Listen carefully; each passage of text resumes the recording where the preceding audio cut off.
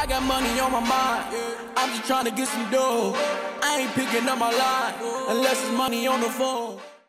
Welcome everybody to another episode of the Black Wealth Renaissance Podcast. Your boy David Bella, one fourth of the Black Wealth Renaissance. Checking on my co-host for the episode, Jalen. How you feeling, bro? What's good, y'all? It's your boy Jalen, man. Another quarter of the Black Wealth Renaissance, man. Feeling good, feeling great on this lovely Saturday, Yes, man. the energy going crazy.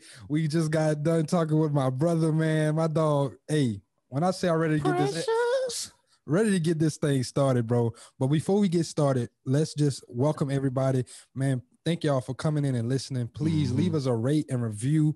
Uh, share this podcast. If you're a new listener, thank you. Thank you for coming in. You're about to have a great time. If you're an old listener, appreciate you for always rocking with us. Yes, indeed, man. Like my brother was saying, this episode about to be great. This episode for one is long overdue, y'all. We got a, a great brother. We've been tapped in with him for a while. Uh, Hell yeah. He is the owner of Brand Resumes, a career coach and resume writing service. And as I just learned, he recently launched a SaaS service. So, man, called I I don't even want to say the name. I'm gonna let my brother get into. Brandon. Uh, I'm gonna introduce, I guess, Brandon Mitchell. Brandon, how you doing, bro? Doing excellent, man. Blessed and highly favored. I just want to say thank y'all for the opportunity and also for what y'all are doing for the culture. I mean, this advice and guidance uh, and expertise is well needed as we push the uh, culture forward. So, just very excited to be here. Uh, beginning of the year. So, for all the entrepreneurs and everybody else who's trying to get it, you know, this is the time to really get straight to it. Um, you know, we just we're just really blessed, and uh, it's about working hard. Hey man, appreciate you for taking some time out your Saturday. indeed. Come and kick it with us, my dog. Um, and we'll just get right started, just get right on into it. Um, for everybody who's not interested, who is Brandon and how'd you get started with brand resumes? It's a great question. So, for everybody who doesn't know who I am, my name is Brandon Mitchell, founder and CEO of brandresumes.com, serial entrepreneur, as I do a lot of things. Um, and, you know, I really started my journey uh, way back when. But, but before we jump into that, um, I think it's important to talk about where I came from. So, uh, originally born and raised uh, on Long Island, New York. So, I'm from Uniondale. I went to Uniondale High School, uh, one of six. So, I have a ton of brothers and sisters, Jamaican American. Um, and so, for me, you know, it was really just, um, figuring out what I wanted to do with with my life. And I think, you know, I'll take it back, you know, way back when to when I was in high school. It was something that uh figuring out, you know, careers and just opportunities. It's like a lot of times you have all these outside voices, whether it's your parents or your guidance counselor trying to tell you what you want to do. Um, but for me, I just wanted, I knew that I wouldn't study finance, wanted to be in business. And I think that resonates with a lot of people because a lot of times, you know, when you're coming from a background that you don't really see a lot of wealth and you don't see a lot of prosperity, it's like, whatever's going to pay me, let me know and I'm going to jump into it. And so I decided to study uh, finance. Uh, that's what I went to college for. So I went, I went and studied um, at, the, at the State University of New York at Plattsburgh. So originally, like I said, from New York, wanted to keep it local. Uh, but honestly, I just wanted to get as far as away from my hometown as I could. Because um, a lot of times you stay local, it's great, but having that exposure.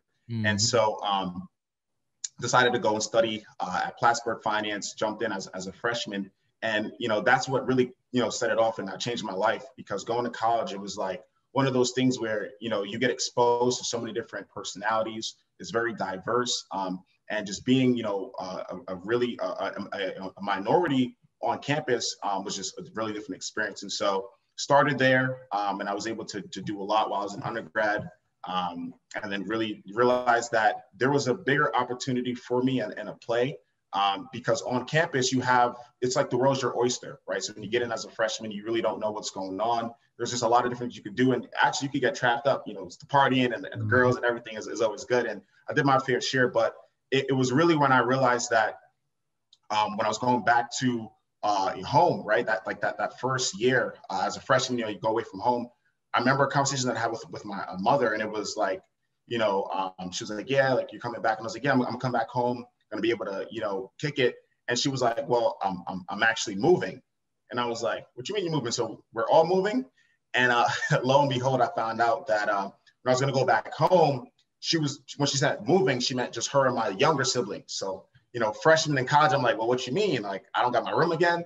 So it, it ended up that uh, she was going to move, and it was a blessing. But it, it just made me realize very early on, and I say I was like 18, 19, that um, I didn't have a place to live when I was going to come back as a freshman. So I needed to just make sure that whatever I was going to do or what I was going to pursue in college, and I was going to really leverage this education was going to make sure that I could then stand on my own two feet and I didn't have to worry about, you know, somebody, you know, covering myself. And so always been a hustler, been working since I was 15. But that experience of just like realizing that, oh snap, like I might have to just make it on my own, really changed my entire life. Because I said, you know what? I don't care if I make forty thousand dollars when I graduate or hundred thousand dollars. I'm going to make sure that I have a job um, in my hand that I could support myself. And so, you know, I ended up graduating college in three years uh, by the grace of God. I don't know how I did. It. I went into overdrive, 26 credits a semester, 27 credits, seven classes, eight classes, joined a whole bunch of clubs, and just really dove deep into just becoming a professional. Had to, you know, coming from, you know, just a, I'm already background high school where it was only just a bunch of uh, African Americans, just getting diverse. But I realized, okay, well, what's networking? What's relationship building? And just immersed in that. Um, and just through the the experience, I was able to land multiple internships. Um, through just re- learning how to be a professional. I think a lot of times um, people don't teach you what a professional is when you come from a, a background um, that you don't see a lot of professionals per se. Mm-hmm. But yeah, college and, and just do, j- jumping into that, getting the internships, you know, learning about the branding, the resumes, the LinkedIn's, and all that stuff really changed the trajectory. And then I also ended up graduating uh, 2017, three years with three degrees. And through just learning how to be a good professional, learning everything, and having college being my uh, stomping grounds, I was able to le- leverage and land a job um, at graduation, uh, $75,000 as a 21 year old jumping into the workforce. So that's a little bit more about myself uh, and uh, just just how I started to get to where I'm at today. I love, I love it, yeah, I love to hear that, you, bro. Like you said, the world is your oyster, and it, instead of letting that environment just like dictate, because it's like you said, it's easy to get caught up in that stuff, man. It's very easy to get it's, distracted. We, we, talked about that like in our very first episodes. Like college is a place that the conversation opens up about it, like everybody just talks about student debt, but they don't talk about the opportunities and the way you can really level yourself up there. I love that you used it to to really create opportunities for yourself. And you mentioned something in there whenever you were talking about professionalism. I, I want to speak to that a little bit more yeah. because coming from my background as well, like I'm from the country, bro. I I just seen a lot of country niggas, to be honest. Like it wasn't nobody that was really out here moving, moving like, and like like corporate, like almost. Right. So can we speak to like how you learned some of that stuff and how it uh, affected your your ability to, I guess, like go get those internships and like start building out the relationship so that whenever you got out, you were able to land that job. Absolutely. And so when I when I remember back when I realized that I was going to have to, you know, do everything necessary to make sure that I was going to be self-sustaining and self-sufficient and have money in my own pocket, I realized that the only way that I could do that is by, you know, making sure that I can land a job. And to land a job, and especially when you come from a non-target school, and for those of you who don't know, non-target means that you didn't go to like an Ivy League, you didn't go to a big name school where there's actually university recruiting teams at your school. So little known fact, depending on how big of a university you go, like a Syracuse or like a Brown or a Stanford or Cornell, the companies is there. So you just gotta, you know, play your cards right, get a 3.0 or above, and you can just, you know, finagle your way or finesse your way into an actual job opportunity. And so you kind of get what you pay for. But for me, I went to non-target school, so I had to figure out a way and a strategy in which I was gonna be able to break into the mold and get into a company. Didn't have to be big, but coming from a, a, a school where people weren't recruiting, you know, people, it wasn't like a big thing. And so I was like, all right, bet. So what do I have at my disposal? I was always a hustler, so I ended up starting a business um, in college. Was my first business was called Idea.com, and idea the idea behind it was that it was going to be a social media network where uh, we could connect entrepreneurs and the creators and the thinkers, and it'll be a platform where people could share ideas, comment on ideas, and help essentially um, ideate on someone else's ideas, and you would get equity in that idea. So it was like a, it was a mesh between like a Facebook where you see like a newsfeed of different ideas and you can filter, and then also like a Kickstarter where you can then like have like you could be an accredited investor or not, and then be able to go ahead and um, invest in someone's idea. So I decided to create a business to put something on my resume, but then I also leverage clubs, right? And so I was a part of the Accounting and Finance Association. Like I said, I was a finance major originally. And so jumping into the finance club, I was exposed to different topics like, okay, well, now we got to run club meetings every week. We got to plan for 30, 40 members. What are we going to talk about? What are we going to do? Um, and then you, we also did uh, company trips where once a semester, spring and fall, we would actually go into Manhattan because I was five hours away, all the way upstate New York by Montreal and Plattsburgh. Um, we would do a trip to down to the city and, and literally network with local alumni. And so by joining those clubs, I got access to be able to, you know, then get in front of networks who are at the big companies like the EYs of the world, um, like the Morgan Stanleys, because they were alumni and there was a little bit of a network there. So when I was on those clubs, I was being able to not only build my resume and my uh, professional experience, because now I'm interacting with, I'm a freshman. I'm interacting with seniors, juniors, and it's not just like, you know, what's going on, what's the, where, where's the party at? It's like, okay, well, this is what um, a career path for a financial analyst looks like. Well, this is what a career path for an accountant looks like. Well, this is what the big four is, the big four accounting firms. And so I ended up putting myself in an environment with people who had the same goals uh, and, and aspirations with me. And I think that's one of the biggest things you got to surround yourself mm. around people who want to do what you're trying to do, right? Because if you keep your circle uh, around people that don't have the same interest, and you get real distracted. And so I was laser focused when I decided to be a professional. And by joining those clubs and leveraging those relationships, I was able to start breaking in. And then also, I realized that each club on campus has an actual advisor who's typically um, you know a professor. And so i was able to tap into the advisors network and tap that person to hey like do you know other people who are, who are looking for um, xyz uh, interns and, and, so on and so forth. And so by by breaking into the actual uh, club space becoming on the e-board so it's one thing to go to a club it's another thing to be part of that executive leadership actually running the show so I said, mm. you know, I'm not going to just stop at becoming a member. I'm going to become a treasurer, a, a secretary, because it just padded my resume. And I didn't even know that I was doing that. But over time, I was getting real comfortable. Next thing I knew, I was the, the kid on campus, freshman, who was literally helping seniors and juniors with their resumes, with their LinkedIn profiles, because it was like I just started to just soak in the knowledge. I was like a sponge. Like you put me in a room, I was just soaking up all the knowledge, doing the research when I, when I, when I went back to my dorm room and that's kind of how it um, just unfolded. And so just jumping into the professional world, I mean, we was doing presentations on what's networking, and then there's also career fairs too that you know people every semester. So I just jumped into the world of just okay, well, what are the steps that I need to take to make sure that one I can land graduation because that was my goal.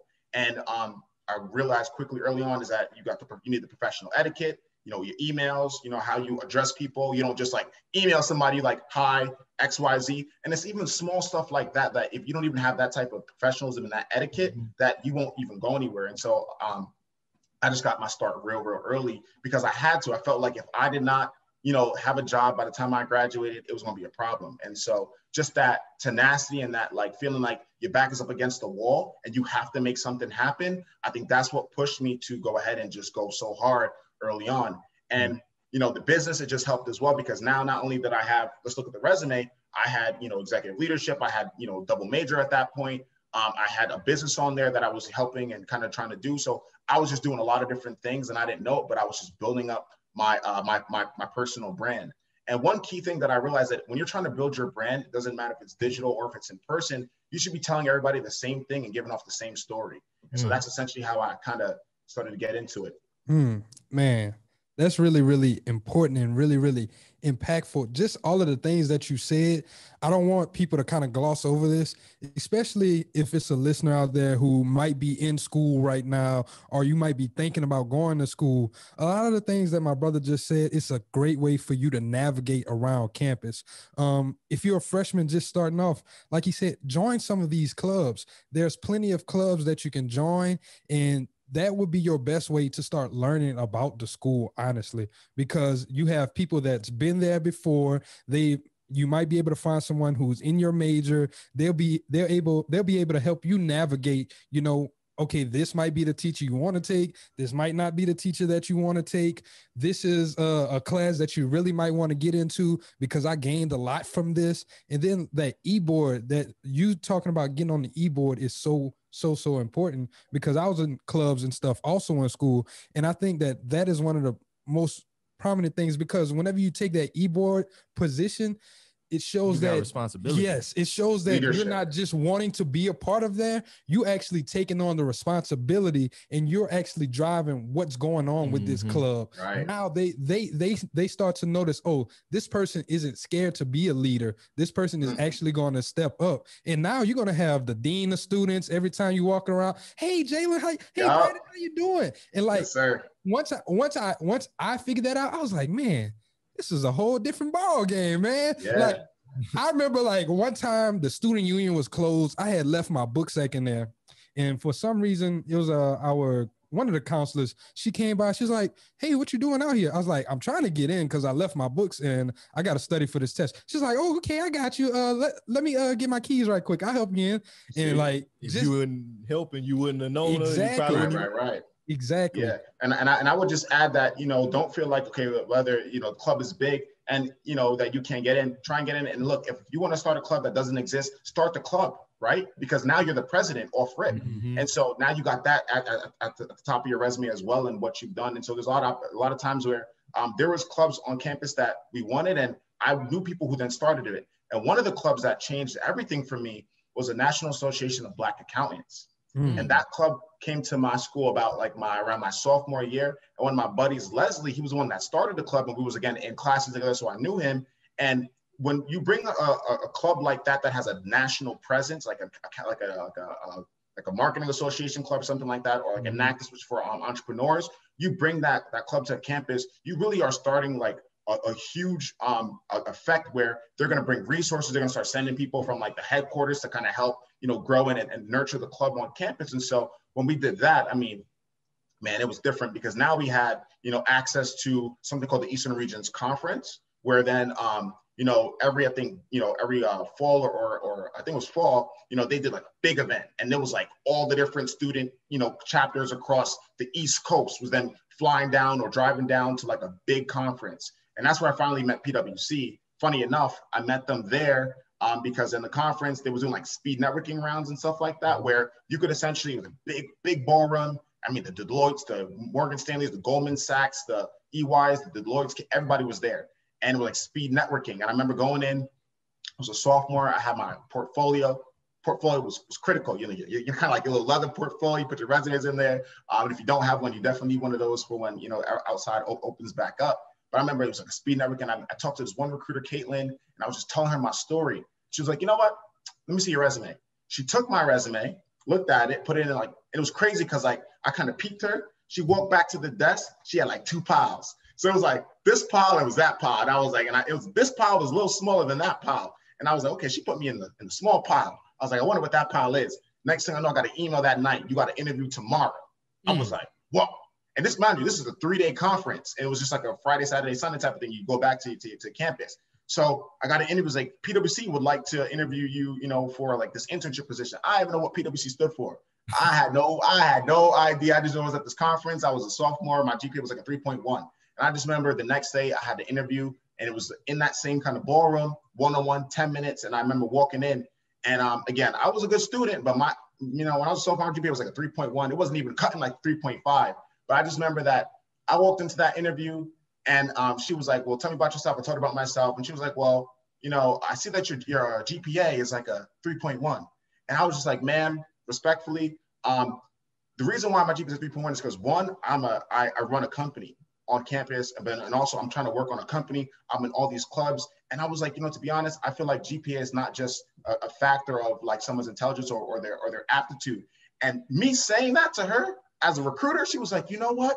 You're so right. Next Hmm. thing I knew, I was on the third round interview. I was being flown out to PwC headquarters in New York City for the third round interview. And so it was a crazy thing, but I would have never got that opportunity had I not been part of a club, had I not had the network of people who were starting clubs and being in the whole space. So I would say that it changed my life and um, ended up killing that a third round interview and then starting as, a, as an intern officially. And even as an intern, it was three rounds of interviews. So I always say that like be be be be be prepared, but you gotta put yourself in the room and you gotta make sure that when when the opportunity presents itself, you need to be ready for it. And I was ready because again, I had the experience. I had started a company, so I had something on my resume. I I had I was already practicing networking on campus. So when it was time to interview, it was just go time.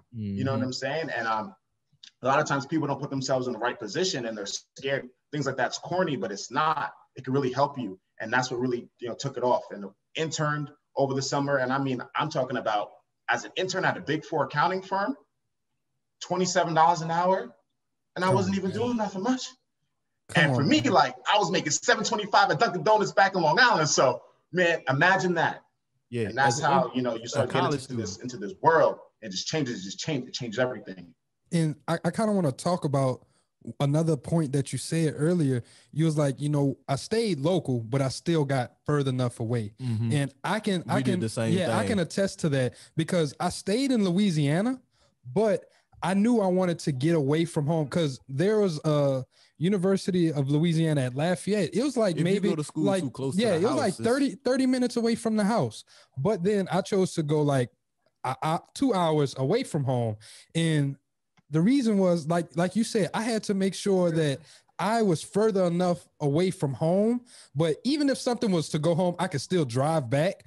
But it changes that mindset because now, like David said, whenever you're too close to home, you don't get that full experience. If you're still living at the mm-hmm. house, you still right. worry about your mom she might need help with this and she don't understand that you have these big projects or you're trying to be a part of these clubs and everything. Yes. Still depending on you to do all of this. You got siblings. They need help with all of this. And you can't really fully focus and really get the full college experience right. whenever you're doing it like that. And i have a little sister. She just started her freshman year and i was trying to okay. tell her like please get away. But she didn't. And i'm just she's seeing it now. I'm like i need you to get away though. I need you to go to school. She's going to uh, lsu LSU right now. But I was just like, you got to get away so you can really grow and really just spread your wings. Mm-hmm. And I just want you to talk to that about how important that is. It is. It is um, because of the exposure and just the, the the and the culture shock. You know, and it was a big culture shock for me. Just being in the whole unit. I mean, I'm talking about like my high school 95% African American and, Latino, to be honest, right? So that's what I was around. That's just the environment, you know, just around just the, I don't want to say the violence, but just like, you know, it was just like everybody just did the same stuff, right? You just graduated, either just chilled out or you graduated and you maybe went to a community college. And there's nothing wrong with community college. I think that's a great stepping stone if you're taking it seriously and you're also just kind of like, you know, using it as a, a getting education. But a lot of times people just go to community college, it'd be like a 13th grade and it's and I just knew that, and so just staying local. I mean, I have some good friends um, that stay local. They went crazy. Um, our co-founder of, of Brand Resumes, Amit Nash. Shout, shout out to Amit. He stayed local, and he was able, actually able to take that and you know make something of it. But a lot of times, when I look back at my network, um, and it's what maybe that was like maybe five, six years ago. Everybody's still kind of in that same. They they they just starting to figure things out. Whereas like mm-hmm. I felt like that that exposure just transcended my entire life because it was just like you just get placed in a, in a location where you got to figure it out, new connections, new experiences, and the next thing you know, you're sitting in your finance class and okay, so you know, tell me about you. You networking with your, with your, with your classmates, you find out that that their dad is a VP of J, JP Morgan. Hello, so it's like you just start to learn so much around just um, being in that environment and the environment is critical towards growth. And I always say that, you know, you got to make sure that you're surrounding yourself with the right people. Your circle is everything, right? Um, you are who, you know, like like the four people. closest people to you, right? Five, right? Like you got to look at your circle. And so yeah, like it was a culture shock, and just being up there and being around all these different types of personalities and different people. I mean, I started, I learned so much. I learned about Indian culture. I learned more about white people. to be honest, I didn't know a lot about white people before college. To keep it honest, and so it was just like real cool because I started to build just the right relationships. And um, relationships is everything, right? And it's like you don't realize that, but then I look back now and it's like you know people that I, I met and the relationships that I built in college, like those are the people who now are at the, all, the, all these bigger companies and they're, they're the people who they took themselves seriously. They're going to be the, the who's who's of the world. And so uh, you always have that comment like, you remember back when we were studying in a, in a, in a, in a library back in like, you know, and if you can always reach out and that's your network, you know? Mm-hmm. And I feel like when you, you stay localized, you kind of limit your network effect in a sense, because it's like you just around the people that feels comfortable. But, you know, there's a saying that you got to get comfortable being uncomfortable, right? And I think that's when you really start to grow. You step out your comfort zone. You say, you know what? I'm just gonna figure it out, and um, it just it just takes it, it takes everything to the next level. To be honest.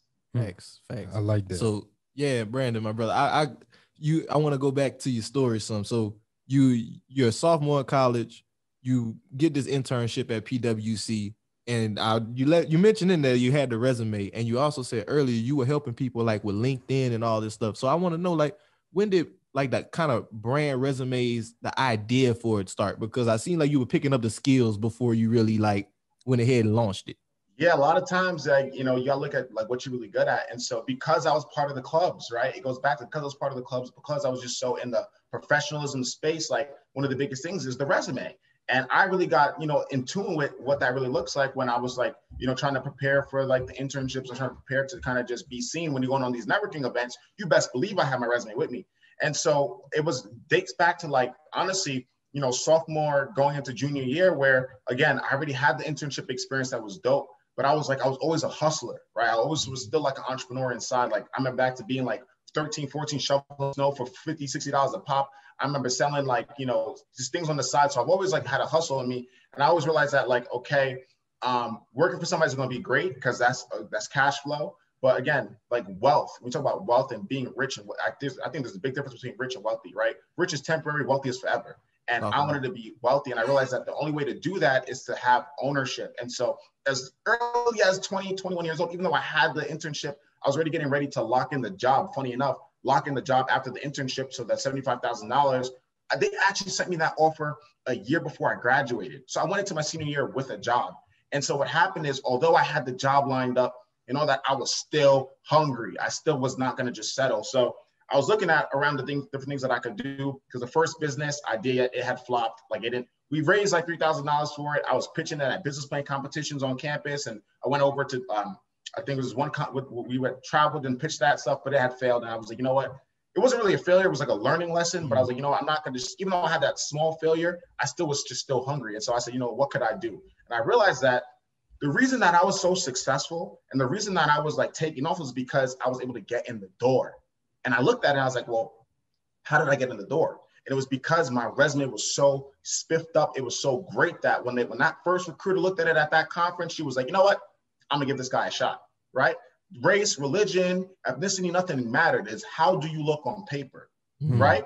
And so I was like, well, if I can help as many people on campus with their resumes and, and then make them look good, I know that that'll be able to get people in the door because I just wanted more people to be, you know, come from this non-target school to be successful. So that's when it clicked. I was like, wait, that's a need, needs-based business. So I said, all right, cool. I did the research. I was on campus crazy. I literally, since I was a part of fraternities, a part of so many different clubs, I had a network. So I literally, you know, old school days, I literally created a Google form. I have it to this date. It dates like 2017, like March. I went to 20 organizations on campus hit up the presidents, the, the, v, the VPs, like, yo, can I come to your club? I went to 20 clubs and fraternities. I said, yo, I just need two minutes before the before your meeting starts. I was standing in front of the whole auditorium, 30, 40 people. people I would say, look, who has a smartphone? Everyone would uh, raise their hand. I said, okay, cool. Go to this link. It was a link and it was a survey. So I surveyed over 260 college students and I had five, six questions. I said, do you have a resume? Yes or no? Do you have a LinkedIn profile? Yes or no? Um, do you go to the, to the career development center? Yes or no? And it was how much would you pay for somebody to work on your resume? 10 to $30, 30 to $60, 60 to $80, and like 100 plus. Uh, would you pay for a LinkedIn profile? Same price, right? And um, and like one other question, and first name and last name, because you need to know who's who, right? Mm-hmm. And like mm-hmm. sophomore, juniors, freshman, you gotta, gotta, gotta get your uh, data in line. And so survey said after I looked at all the numbers, right, that like 80% of people would pay anywhere between 40 to $80 for someone to write their resume. And I was like, okay, so maybe we onto something here. Mm-hmm. So what I did is I took that data back. Um, I was already studying finance and business, and I was like, okay, cool. So if I'm gonna open a business, I need a name. So I came up with resumes.co. It was the first iteration of brand resumes on campus, right? So resumes.co is gonna be the name.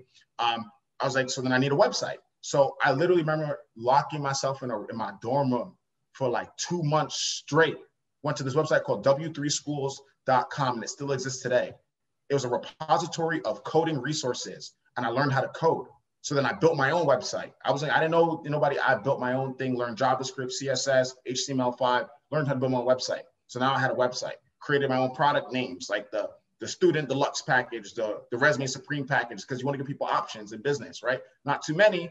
And then I just put them all together, got went on canva.com. I was, I was, man, stuff people talk about today, I was on it in 2016, 2017. Went to Canva, created a few graphics, and boom. Next thing I knew, I had like a functioning website with the PayPal working, and I started to just market it on campus. So I went around saying, like, look, I can write your resume for $60. You know, I'm gonna do it, I'm gonna do it up. And I had like eight customers. And the crazy thing is that I launched this two months before I graduated. I was mm. still that hungry. I had the $75,000 job waiting for me, but I was still hungry. I still wanted to just try it out. So we, we may have made about $600 in total um, with resumes.co because by the end of it, it was like, well, I had a choice to make. By May, I was graduating. So do I $75,000 job or $600 that I made on the side hustle?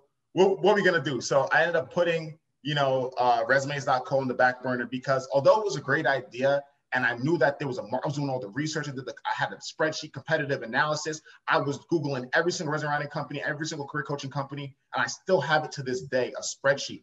It was like different columns. It was like website. It was like how many employees. It was like um, price points. What was the differentiating factor with them? It was how how how good that I felt that their marketing was.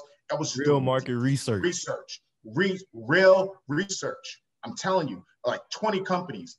And um, I was, and I figured out how it was going to be different. So our thing was that it was going to be like on demand, and it was going to be faster turnaround times because people's turnaround times like two weeks at a time. I was like, now I'm gonna do it faster. So two to three business days. I was gonna try to compete on price. It's gonna be sixty dollars. Who don't got sixty dollars? But we just had hurdles getting it out there because I was just like, I was just thinking like, I'm gonna sell this as many college students as I could. Why? Because that's the environment that I was already in. I was just in the college environment. So mm-hmm. I didn't even think of anything past just that.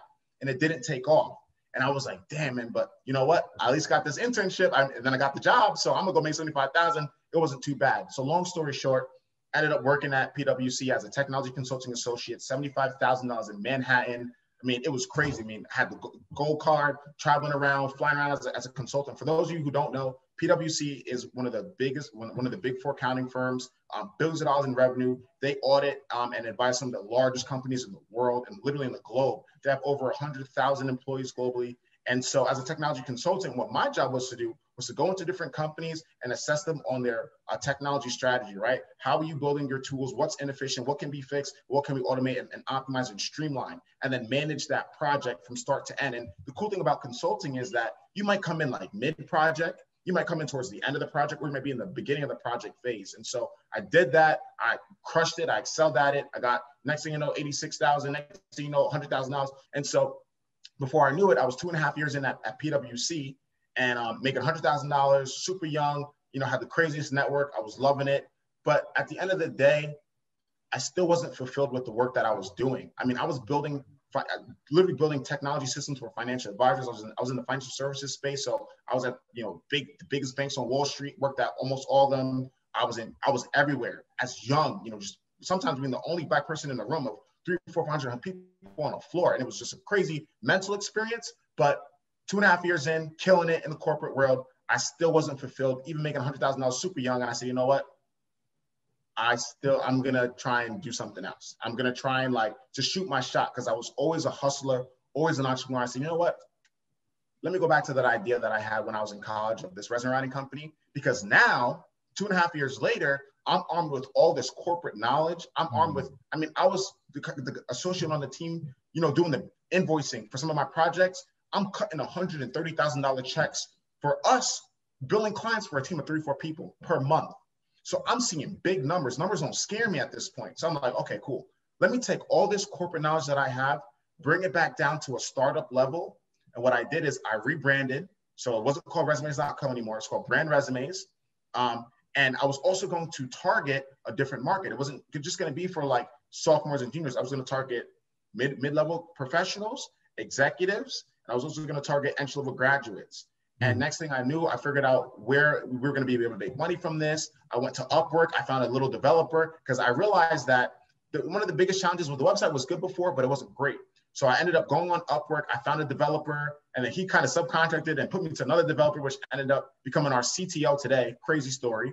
Um, mm. And uh, for six hundred dollars, I built, I, he, we, we powered through, built the website all while I was still working at PwC, collecting my checks, doing my thing on the side, building my little empire, right? So got the website, I rebranded it, put like the price point. Nah, I'm not doing $60 resume no more. We're doing $150 because there's something called perceived value. And perceived value is the value in which people are going to perceive it. And typically, the higher priced goods, people think that it's worth more. It's actually worth the money. It's a, it's a psychology play. Mm-hmm. So pricing strategies is very important in business, right? And so I increased the prices to increase the perceived value of the services. And I figured out ways in which I could differentiate myself again. Literally, same concept as before, relaunched it May of 2019 with our co-founder Amit Nath, who I, I tapped, you know, one of my high school, you know, best friends. And yo, we're gonna do this thing. And he was working on Wall Street as a sustainability analyst, and he his master's like, yo, Amit, I, I know we about to, I know we on a separate paths, but I really think there's something here. So he ended up quitting his his job, and I still have I'm still working at the time. We launched it May of 2019, and it took off like wildfire, hockey stick growth. First month, four thousand dollars in sales. Second month, ten thousand. Third month, $15,162. I remember to this day, the month, the amount of money we made that first three months. And then it was like fourth month, we getting $25,000 a month. And we were still working. I was still working full time.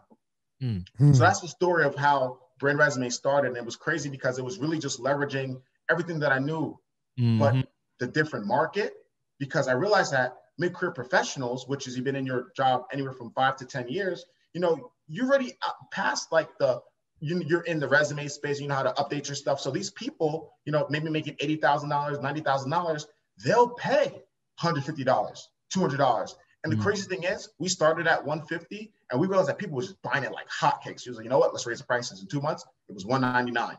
People still buying it like hotcakes. Another two months, we raised prices again, 299. People were still buying it like hotcakes because a needs-based business means that people will need it. And if they don't want to put that time and that effort, they will pay for someone to do it. And when you brand yourself as an expert and you find a niche, because I also said, let's focus on a few industries. We're going to be in financial services, technology, legal, education, HR, right? And it was cool because now you put it in a box to where when people come to your business, if they can fit in a box, meaning that, okay, I'm an entry level graduate and I'm a technology guy. Okay, this package is for me.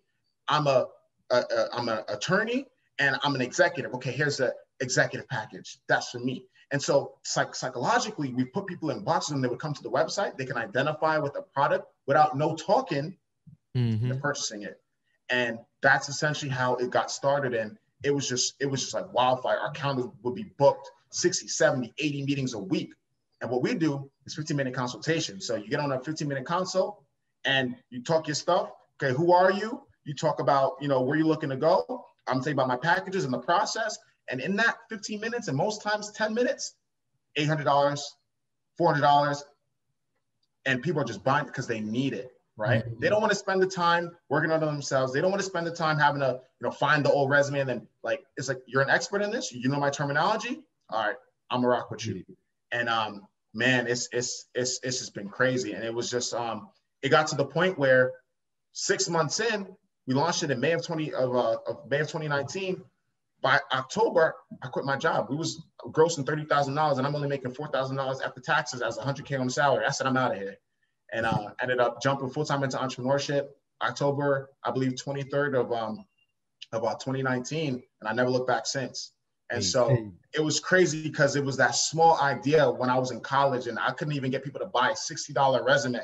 But the tenacity and the grit, and just knowing that it was always a good idea, it was a billion dollar market. I did my research, I did my homework, and I ended I just needed to get the corporate or not even corporate, I just need to get the the real business acumen to just say, okay, now I know what's up.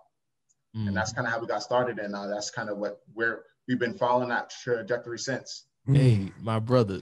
I just pressure that pressure, but that that story and was a great lesson in entrepreneurship mm-hmm. for anybody. Just because, like, if you couldn't find value in that, like, there's no such thing as a failed experience, experience or a failed venture. Like you said, you had that first business, oh well, kind of flop, but that first business led you to the second business. In the second business, you had the idea and you had a proof of concept, but it you even take, had people buy. People, and it didn't work out the way you thought, but right. you and you worked, you did your thing, and I'm pretty sure while you was working in corporate, you didn't even, you probably weren't even thinking about this no more. Like you weren't thinking about brand. It's in the back of my head. No more. It's just, but it's a compounding effect. That's what I want people to understand. Like everybody wants stuff to happen overnight. Mm-hmm. You said it had this hockey stick explosive growth, but it wasn't just because you you just had this idea out of nowhere and like it happened. This is three and four years compounding on each other before it happens. I just need people to understand that because a lot of times right now, especially right in now, today's climate, in today's yes. climate, everybody wants the big win, but they don't understand what goes into the big win. It it took you like four or five years to become an overnight success, like a lot of people say. Like a lot of times they just see us once we're done with our process, but they don't see the work that actually went into the the whole process. They don't see the nights, like you said, those two months where you locked yourself in the room learning how to code. They didn't see where you were actually writing these resumes for these people for that $600. They didn't see none of that. But now they see, oh man, that's Brandon Brand resume. He posting his damn screenshots. He getting paid $700 for a resume. He getting paid this. Oh man, I'm gonna go do just what he done. And I, I can be successful, but they don't understand it takes work it's it's gonna take time and it's gonna take work. You was even making a hundred thousand dollars a year, and you was making 25 bands on the side, and you still stuck with that job. And one of the biggest things for me too is that before I even quit my job, And that was a crazy thing. And that was a man, I no one, man, and people thought I was crazy when I quit my job. They was like, nah, Brandon went off the deep end, right? Now they're looking back like Brandon was a genius, right? Talk about the pandemic and everybody needing resumes. But even before I quit my job, I still was smart enough to understand that that was going to be a big leap. But I decided to one, make sure that again, if I was ever gonna, if it was still gonna fail, right? Being smart now, if it was gonna fail, because you never know, business could fail, right? You know, 80% of businesses fail. I ended up getting certified. So I got my PMP certification, which is project management professional. I got a C- CSM certification, certified scrum manager. So then if I ever was going to re-enter the corporate world, I would get paid more than where I left off, right? Let's talk mm-hmm. about it. What I also did is I made sure that I had money saved up. And I don't really talk, tell people, uh, people this, but I saved my money, right? I wasn't going out, you know, turning up in, in the city all the time. I was stack, stashing my bread, you know, mm-hmm. keeping my expenses low, right? So I ended up saving $50,000. So I had a little nest pool. And then I also decided, like, let me take some money on the side and go buy some real estate. So then I had passive income flowing. So in the mm-hmm. middle of all this, I ended up buying a three family investment property. So I knew that, look, okay, that was going to net me like $770 a month after everything was paid. So even if it didn't work out, I could jump back into corporate. I had a nest egg and I had passive income coming in, $770. And that's not a lot in bills just in case I fell on my face. Okay. So I want people to know that too. I didn't just quit my job. I strategically planned out how I was going to exit the corporate world. And I executed it flawlessly because and what happened is the real estate kept turning up every first of the month. My favorite time. I just picked up rent today. You know, money was coming in. And then secondly, I made sure that the business was sustainable, right? Because we started in May of 2019. A lot of times you can have that fast growth. Like you thinking that oh, it's gonna keep going up, right? Uh, GameStop, right? You think it's gonna keep going up. But what happens is, what happens is you got to make sure that it's sustainable over time.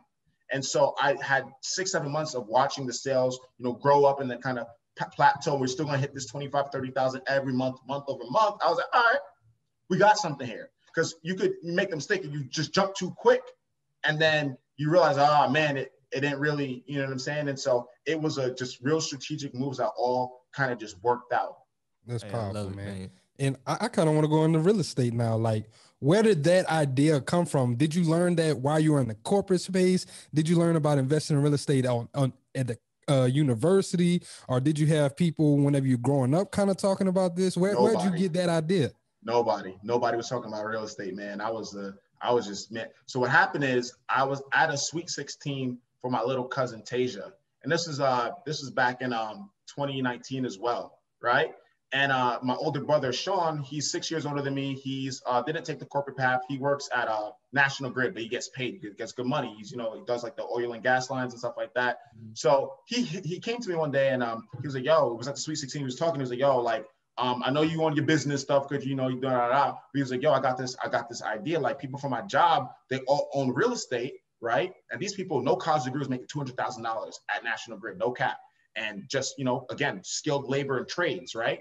And so he was like, "Yo, Brandon, like we should jump on this real estate." We were talking about New Jersey real estate, Newark. He was like, "Yo, like my, one of my mans just bought a four family for like 200,000. Look, pulled up the Trulia app while we sitting there, you know, sipping at Sweet 16. And I'm like, yeah, yeah, yeah, whatever, whatever. You, you know, you just you just talking whatever. Because I was just trying to downplay him because he wasn't in the business space like me. Mm-hmm. And although he's older than me, I was like, man, Sean, Sean don't know what he's talking about. But then, you know, I was like, so then he hit me again like a month later. I was like, yo, bro, like I'm telling you, the real estate's going up in Jersey. If you got some money on the side, I know you're in the corporate world. Let's let's get on a deal. And I was like, all right, let me just see what this guy got to say.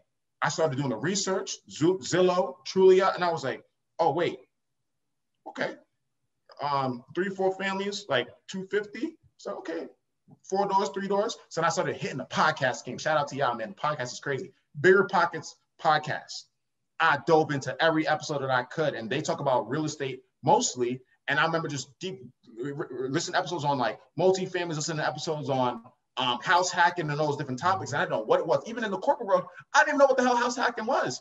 And so I, I started to realize and was learning all these topics. And I was like, yo, and that's when I heard about the FHA. And I was like, oh, so you telling me that we just need three and a half percent? We're gonna get a crib? Oh, it's lit.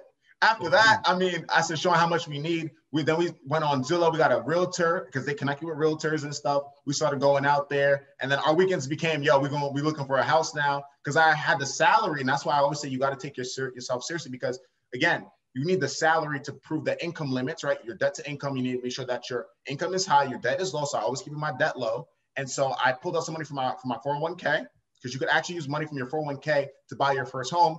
Key fact, right? And so I pulled out money from my, from my 401k. I had a little bit of a nest egg on the side. Sean had some cash. So we, I think we invested 19,000 was three and a half percent. We bought our, we bought our first property in Jersey, Newark, in a growing area called Weequahic, um, for $375,000. And um, it was going to cash flow, uh, you know, overall like 5,300 a month. And we was going to net like 1,900 and then put 250 in a repair fund, split 700 or 770 each. And we just did it, jumped in. We had no experience. But what we also did is we, we, we bought a turnkey property. And mm. so with the turnkey joint, we didn't have to do any rehabs, we didn't have to do any fixing. It mm. was done up. So all we had to do was just we got the keys. It was beautiful. I mean, it was like the like one of the nice house on the block. And I think the previous owner brought it as a foreclosure, put the hundred thousand in there, and then he flipped it to us. But we didn't want to do too much. Sean worked full time. I worked full time at the business on the side. So we ended up buying this um, turnkey. Got three tenants. One one um, one tenant was Section Eight. Two was uh, just regular tenants, all black families. And I, I was really critical on that, right? Because it was a beautiful place. And it's been over two years. They've never not paid rent on time. Even the Section 8 tenant, it's been excellent. That money's coming in from the government. And on top of that, um, it's just, just it's just been great. And so that real estate play kind of came out of nowhere, but then it's just realized that, you know, there's an, an opportunity. And the, and the crazy thing about it is I kind of slacked and I should have took Sean serious a little bit earlier because it took us like five, six months to close the deal. And in that time, man, the real estate went up crazy. So when we we got like the tail end of the three four family, you can't even get a three four family for that price in Jersey at this point. And I think the house is worth about five hundred thousand dollars now, a year and a half That's later. Insane. I gotta give you the clap, bro. Hey, real talk. Hey, my brother, I also want you to walk it back because you mentioned the borrowing from the 401k plan. People really don't know about that as an option. Can you talk about that a little bit more, like how that process played out for you? Yeah, absolutely. So, so because I was working in the corporate, right, you get they was matching my my um 401k contributions, and so um you could you could invest in your 401k pre-tax and um and um and post-tax. So I think I was doing like pre-tax or something like that. So it was before that they was taxing it, so it was going to be building up a little bit higher cash value a little bit earlier. And I think the idea behind it is that when you then retire, you'll pay the taxes, but or something like that, whatever the case may be. But I did know that there was matching it. So it was good. It was, I was putting in, they was putting a little, you know, 25% match or whatever. And over a year or so, I had like eight, nine, 10 bands in my 401k. And traditionally, your parents say, oh, don't touch your 401k, blah, blah, blah. But that's like, if you're to go take it out and go do something stupid with it. But I knew I was mm-hmm. going to go take this money and put it into an asset, right? And so you can actually pull from your 401k with no penalty if you're using that money for, for your first home. A lot of people don't know about that. And mm-hmm. I didn't even know about that. That's how I do my research.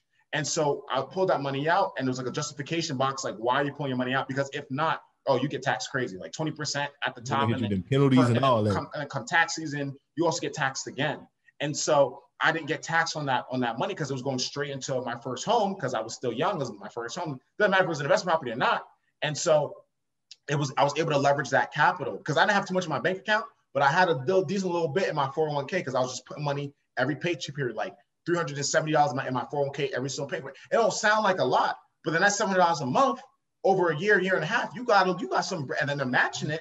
You got some money in your 401k, mm-hmm. and so you could actually tap that to um, do certain things. I think like funerals or like um, or like real estate. Like they they they'll either um, it's like tax deferred or you don't get taxed for it at all. And so we got I, I benefited from that. It was super smooth. I just went I said YOLO because I went broke buying that first house. I'm not gonna lie because I took that 401k money and I had a little bit extra I needed. And I just, I mean, I went broke buying that first. So I had no money in my account. I was like, I was like, Sean, this, this better be worth it. But it was good. I mean, after we, we, we bought the house, we only needed to buy a mailbox, so security cameras, and that was it. That was like that was that was it. And I man, I remember I, I went on um I went on Trulia, I created a little listing and I did something crazy too. So as we were buying the house, I don't know if it's legal or not, but as we were buying the house, when we was getting ready to close, what I did is you got the inspection thing. So when we had the inspection, I was kind of there. And so I was taking pictures of the unit right before we closed. So I had some nice photos. So mm I went on Trulia before we closed and put up the listing for the apartment rental. So by the time that we closed on the house, in um, in a week, we did an open house and I already had like a bunch of people who was interested, and we put tenants in in two weeks from the time that we closed. Mm. We didn't even. It was like smooth. Whole, whole unit was filled. Whole unit was filled two weeks after we closed. Now I, I think that was crazy because sometimes That's it takes forever to find the tenants. But I kind of like I was like, you know what? I got these photos. We're gonna chill out, put the little listings, 1900, you know, 1700, and then 1400 for the two bedroom one because it's, so it's nine bedrooms, three baths, uh, three family. And uh, yeah, so it was just, and it was just like boom, just now we own a real estate. And it was it was that easy. So um, yeah, that that's what really helped me because you know when I quit the job, I had the real estate coming in. It's a small check, but it's something, you know. And then I had the little nest egg, and so yeah, the real estate game is crazy, and I'm still looking to buy more real estate when the time comes. But I'm I'm, I'm calm right now because I mean I got I got one. It's cash flowing positive. My tenants are amazing, and so it's just a little something every first of the month. Hey, I Hey, love man, it. I, I love it appreciate you sharing that, my brother. Cause like, yeah, we wouldn't have known that you you'd done that play. But once again, helping people understand that it's more to it than just what you hear. Like you, you gonna, it, you gotta, you're not just gonna jump off the porch. You gotta have strategy with this shit. You can't just be out here like, hey man, fuck it. I'm just gonna do what I'm gonna do. Cause I feel like that was a regret of mine, man. Like Yeah, me I too, had a, man. I had a FU fund, like I had savings and shit, but whenever you don't have oh, all Oh. these other contingencies laid Mhm. out, you gonna you gonna be out there looking, trying to figure it out for a minute, man. playing Like, off your back foot instead of you actually having the plan and you being proactive instead of reactive. facts. But Brandon, my brother, I want to hop into the resumes just a tad bit more um with you. So I had one question for you earlier. Like, what do you think is the biggest mistake people make when writing resumes? Mm. Man, so let's let's talk about it. So when it comes to the resume game, and it's a man billion dollar business writing these resumes, helping people with the professional branding and coaching. Because like I said, when, when people you know need need a resume, a lot of times they don't know what they're doing. And we talk about some of the biggest mistakes. Um, first things first is people still have these objective statements on a resume. And I don't know where they came from, but the objective gotta go, right? People know recruiters, headhunters, hiring managers, they know what your objective is by you even applying. So we can replace the objective statement with a professional summary, right? That's one of the first things. Professional summary, three, four sentences, high level, years of experience, and two or key things that really differentiate yourself uh, from everybody else, right? And then secondly, a lot of times people are missing sections on their resume. So every resume needs a skills section, hard skills, right? Software programs, technologies, and tools. So if you don't have skills, because what happens is there's a concept called ATS. And an ATS is an applicant tracking system. It's the software that all the recruiters and high managers use to sift through the resumes, dozens, hundreds of resumes that get submitted for a job. On average, 250 um, resumes per open job per per, per, uh, per job opening. And so what happens is you know, these recruiters are trying to parse through the resume and keywords and searching and filtering. And so if you don't have the right keywords and in today's day and age skills on the resume, you're going to get passed over because again, if candidate A doesn't have the right skill sets, but then candidate B does, I'm calling candidate B all day, every day. Right. And so a lot of times people are missing the right, the, the, the, the right sections. Um, they might have, and then also let's talk about it, how you order the sections. Cause again, you know, it, depending on where you're at from a career perspective, you're, if you're an executive, for example, let's say you're a VP of marketing at Nike, right? You know, the college experience that you had about 13, 15 years ago is not the most relevant to have at the top of your resume. The first third of a resume is what people actually look at. And in that eight to 10 second glance, if they don't figure out that in that first little, you know, re- review, if you if this even worth pursuing, they're not even gonna look at it more. They're going straight to the notepad. And that's even if you made it to someone actually looking at it, okay? Because these scanning systems, these parsing technologies, they're real sophisticated, and you go straight to the notepad. And so a lot of times, how you order in terms of relevancy, the section, so that you the, the most important information is on the first third of the resume of the first page. That's what's super critical, and people don't know that. So they'll have all the the, the garbage information at the top. And if so, if I look at that and I, and I if I don't get any um, indication of that you're a good candidate from that first glance, I'm not wasting no time. I have a lot of recruiters in my network. I talk to them every single day. I know what they're looking for. And so that's one of the biggest things is how we're ordering the, the resume in terms of relevance, the relevancy factor. And then to top it off is the bullet points. And so a lot of times people have, man, if you got a resume, open up your resume right now because you might have that four or five word bullet point and that's not it. It's not enough information to contextualize what you've done. The Mm. reason that resumes and we write five star resumes is because it has the uh, contextual impact built in, right? So it's not about what you did, right? It's about what did you do to do that, and then what was the impact. So there's an XYZ formula that we use in terms of writing these resumes that work. It's not just I'm gonna write a resume. It's like we have a whole methodology and how we go about doing this, and it's very successful. So it's all about the accomplishments, it's about the achievements, it's about the impacts and the success stories. That's what people care about. Not just that you launched a podcast, but did you launch a podcast with over 300,000, you know, monthly users that then increase, you know, uh, brand awareness by X percent? That's what people care about, right? And so that's the impact that people don't really get, and they'll just put their duties. But we need to move away from duties to more accomplishments and success stories. Mm. Mm. And I, I, got another question. I heard you say, you know, on the first page, a lot of times people think that I just need a one page resume. Yeah. Is that still the standard in today's industry, or is it okay for you to have a two-page resume? So one page is definitely the standard, but it definitely does depend based off of where you're at from a, a seniority perspective. Okay, so if you're at entry level, hands down, you need a one-page resume.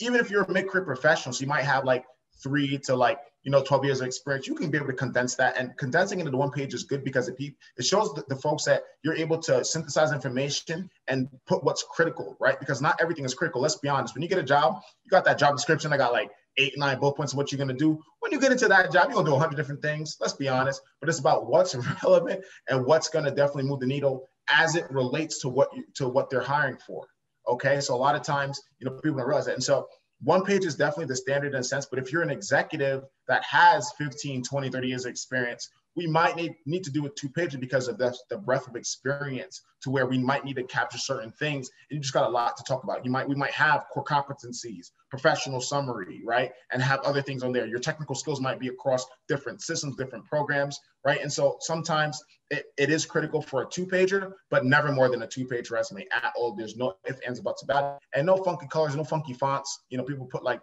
random weird stuff on a resume. I've seen resumes like pink words and like I mean, I even saw I even saw a resume with a dog on it. So I mean, that's not gonna work. That's not gonna work. And so that's just just some some some of the quick things that um, people don't really realize. And it doesn't matter if you're the entry level graduate or you're the VP executive, the, the, the VP at TD Bank, 17 years of experience. I talk to these people on a daily basis. I talk to CEOs. I talk to chief chief of staffs. Nobody understands how this stuff works. You'd be surprised. Wow, I can imagine, bro. Like most people, when it comes to writing a resume, they're going on Word or they going on whatever whatever document processor they got. They're gonna click on a little template and they're gonna just change the information. What That's you it. just you just saying was a whole mouthful. Like the idea of the objective statement. I always thought that was the dumbest shit in the world. Like it is. Why why, why are you applying to this job? Because I want a job. exactly.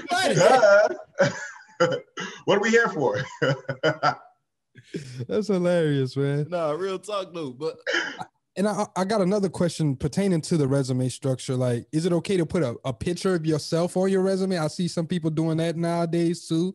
Absolutely not. Now there's two now there's there's two concepts. One, um, there's something called um like the like the traditional resume, right? From a, from, from a, a, traditional resume perspective, you don't want any photos because also those don't parse well with. Remember, I said there's an ATS system. The mm-hmm. pictures don't parse well in the in the ATS. Pictures, text boxes, um, certain shapes and icons, it doesn't jive well. So then, if you do have that stuff, where your professional experience is, it's gonna have like an education. It's gonna be all jumbled up, and when they get it on their end, they're gonna say nope, straight, straight, straight to the no pile, right? So you mm-hmm. don't want that.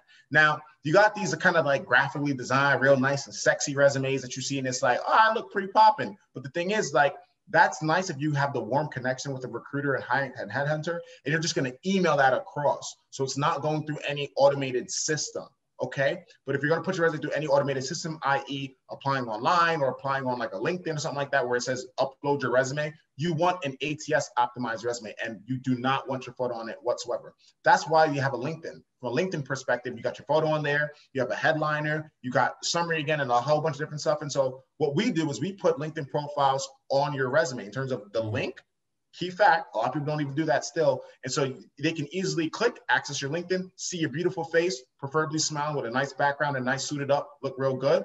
And then they'll be able to deep dive into your professional experience. And one more thing just with it, the uh, cover page. The, is that critical, like having that cover page uh, attached to the resume like cover letters man i mean with the amount of applications due to the pandemic and just the amount of people who unfortunately were furloughed or laid off or couldn't or just looking for a new job I mean, there's so many resumes floating around that these recruiters don't have time to get to the cover letter. I'm gonna be quite honest, right? It's like one of those almost like a thing in the past where mm-hmm. it's cool if you put it together and you submit it with it. I mean, you could might get a brownie point, you might, but nine times out of ten, they're not even getting to the cover letter. It's like, yo, is your resume solid or not? Because I got a thousand candidates to go through and read shortlisting the resumes, and that's what we're gonna do. So I'm not saying that they don't look at it, but it's not as um, high up on the totem pole as like a really nice resume or a really nice LinkedIn profile. That's what's super critical in today's day and age. And you know, again, it's just the professional branding, right? Like get the photo on the LinkedIn and the nice summary. You can put your little header too, you can customize your header. So that's what's critical, right? Nice LinkedIn profile. You need a LinkedIn profile because mm. it's your digital uh, version of yourself. It's, it's your digital um, business card at this point, and you need a nice resume to go along with that. Um, and those two things is what really gets people in the door and then gets them hired. Mm. Thank man. you for breaking that down, yes, my indeed. brother. And got me thinking about LinkedIn. I got to go revamp mine, man. I, yeah, it's definitely an underutilized tool. Like it's crazy because like I realized the power of LinkedIn during the pandemic. During the pandemic, like we were like, man, we was trying to do a little laptop drive. We was trying to raise some money, get some laptops together. And we were like, man, how we gonna get these laptops? They're not selling them to nobody. Go to LinkedIn, you get access. You pay what like 30, 40 bucks. You can start sending messages to people who like are VPs of companies. I just started, I started shooting messages to everybody. Like Best Buy hit me back. He put me down pushed me down the ladder and we got our stuff rolling. Like LinkedIn is a powerful tool. So I kind of want to ask like even more like just to to dive a little bit deeper. What do you think are like the key things people need to have on a LinkedIn account? Oh man, LinkedIn is crazy. And I think that to answer that question, it's, it's pretty cool and pretty sub, sub, subjective in a sense because people use LinkedIn for different things. So LinkedIn is the largest professional network on the internet, over 330 million monthly active users, and it's growing. And essentially, people go on LinkedIn for networking, right? And so if you don't know how to network, it's a great place because if you don't have a LinkedIn profile, what it is, it's like a Facebook style feed of companies that you can follow and they'll put out information, people who you follow who put updates on like what they do or when, when they got a new job or there's different things and they're sharing good information on a specific niche or topic or industry. And so if you don't know about a lot of companies, you can follow companies, same way that you kind of, you know, be on uh, Instagram, but you're getting a lot of good knowledge and good information, right? So it's like a real healthy, real kind of professional social network. So that's for anybody who doesn't know what LinkedIn is, because you got a lot of people out there who still don't know what LinkedIn is, right? Now, when you get onto LinkedIn, you might have a really basic account, which you might not have a photo. So you can, you need a beautiful photo that's hands down, preferably smiling, right? And I'll dump into what shot, you need. Right? But everybody has different, you know, focus points of why they're using LinkedIn, right? You could be using LinkedIn because one, you're looking for a job. And so from a job seeking perspective, you need to have a, a really nice headline. So what happens is the same way that people can search a resume in like an ATS, you people can search for you on LinkedIn and they can search based off of your headline. So you might, you really do need your job title that you want in your headline and one or two other things like what type of professional are you an education professional are you a finance professional so that's headline headline needs to be solid you need a great summary. And a lot of times people don't know how to put together summaries. It's like they don't know where to start. They, they'll just start putting like random facts about themselves and their summary is trash. You need a, a great summary. It doesn't need to be a biography. It needs to be about a paragraph and then industries, you know, areas, and then how to contact you and a whole bunch of other stuff like that. So we, we kind of put those together. Um, and then you need to have all the right skills, right? Because it, there's a whole skill section where when you're going to apply for a job, if you don't have all the right skill sets that is on your profile that's listed on the job, it'll be like, hey man, you only have like two out of 10 of the top skills, so you're not a good fit, or three out of 10. But you can add those skills on your profile and it's free. It's not like you got to pay nothing, but people don't know that. So they got they don't have the right skills on their profile. You could put your education there. You can um, put any certifications that you have. And even this is another key thing. Even if you haven't got the, gotten the certification yet, you can put like in progress. So mm-hmm. it shows people that look like I'm pursuing this. So it's like, okay, this guy's already on his stuff, or this girl's already like on um, on her um, grind. And then you can um, also put like open to work now. So you let people know that you're open to pursuing opportunities. And then there's all these like back end settings that aren't even front facing that you can trigger on the back end of LinkedIn in the settings. Is kind of what we do for people to let people know that you're looking for a job even further than that. It'll signal to recruiters, headhunters, hiring managers. And so it gets real nitty gritty on from a LinkedIn side of how you can really optimize that profile. You know, beautiful headline that you can um, um header image. So there's a lot of different things that you can do to optimize your profile from a job seeking perspective. And you do want to be heading up the recruiters. You do want to be, you know, figuring out how you're going to get in. And the key to LinkedIn is you do want to post because 99% of people on LinkedIn don't even post. They just lurkers. So yeah. you want to start to get some um, expertise in your field and just share your opinion. People are so afraid to share their opinion on a topic, right? put your opinion out there, right, on this new thing in, in your industry because you never know. Someone might think about that perspective and be like, "Yo, that's dope." And the comment on that and the engagement piece. So you should be engaging in people, especially influencers in your industry. So that's how you get known. That's how you get seen. That's how you network. That's job seeking game on LinkedIn. Now you might also be using LinkedIn from a business owning perspective, and I use both, right? I'm on LinkedIn and I'm trying to get some business. I, am trying to get you know my clients my money up. So from a from a, a, a, consultant or from a business owner perspective, you can have a company page, and you every business needs a company page. Hit me up if you don't got one. You need a you need a company page that that has everything on there. Employees, when you founded, your expertise is um, because it's good for SEO. Beautiful for SEO, search engine optimization, and how you rank higher in Google. So people Google your company name, boom, first thing is LinkedIn. Even sometimes before your website, LinkedIn, boom, company. So you can have a company banner. You can also put like your employees can be attached to that. And so you want to brand your LinkedIn company page around your company because then if somebody ever looks you up or finds you, they see everybody's nice and nice in here, everybody's connected. And then um, it just pushes your company brand. And so when people are searching for, let's say, like a, a marketing agency, your company might pop up and they might click on that, say, oh, this is dope. I like, I like this stuff. They click into your profile, see your profiles, your profile's good. And you can even brand your profile from a business owning perspective to get more leads. So now we're not talking about job seeking content, we're talking about sales copy, right? Mm-hmm. You know, copy that's going to help people read, you know, your profile and be like, yo, I might want to sponsor this podcast. I might want to get in tune with them and partner with them. So you can write content in a way that's going to then get people to want to give you money and work with you. And so that's where, from a business owner perspective, people don't leverage LinkedIn enough. And when people see like VP or directing your title, president, CEO, that means something because it's like, oh, I'm talking directly to the CEO. You could be in your shorts, you've never been to networking event, but you call yourself CEO. I mean, people gonna think you're the CEO. And so you can brand yourself to whatever you want to be. The world's your oyster on LinkedIn. But people need to realize that you can use it from a job seeking perspective, but you can also use the platform to make money. And I make money on LinkedIn every single day. That's one of the biggest lead generators for resume writing businesses because full Everybody. of job seekers. Mm-hmm. So let's talk about it. You know what I'm saying? And so uh, that's just breaking down LinkedIn because there's so much on there that you can do and leverage. There's so many opportunities. And with the InMail joint and what an InMail is, you can send people like a direct message, like it's going to get to their inbox. It's called an InMail. And that's mm-hmm. if you have a premium account on LinkedIn, which is only 30, 40, 50 bucks. And so if you want to hit up like the VP of Coca-Cola that is in diversity and inclusion, you know, shoot your shot. There's many of them. And so it's super cool because you can get real connected with people. You don't want to just spam people or have like a stupid message. Like think it out, you know, really uh, you know, come with something of value. People people don't got a lot of time. Same, same thing like the Instagram DMs. People just want to DM you like, I'm interested in getting a resume done. Well, bruh, I got the link tree. I have link in my bio. Like, don't hit me up about you're interested because you go to my website. It's already there. So if you're gonna be if you're gonna hit people up, be very strategic and uh, be cognizant of people's times and you know things that they got going on. But LinkedIn is such a BC tool, man. Um, I'm on LinkedIn all day, every day. Hey man, I, I, thank you so much for breaking that down. And we got to get with you with the yeah. business page because we yeah, had tried to set down, we dog. tried to set it up, but they shut us down talking about we didn't follow the guidelines or whatever. We did it uh, wrong. I think we set it up. I'm gonna like get y'all right. An individual account or something. But yeah, hey, it's all good. Gems. So you talking about LinkedIn? We talking about software. Kind of make me want to pivot into your company. Yeah, man. Like, how were you managing like your your your new software as a service mm-hmm. company.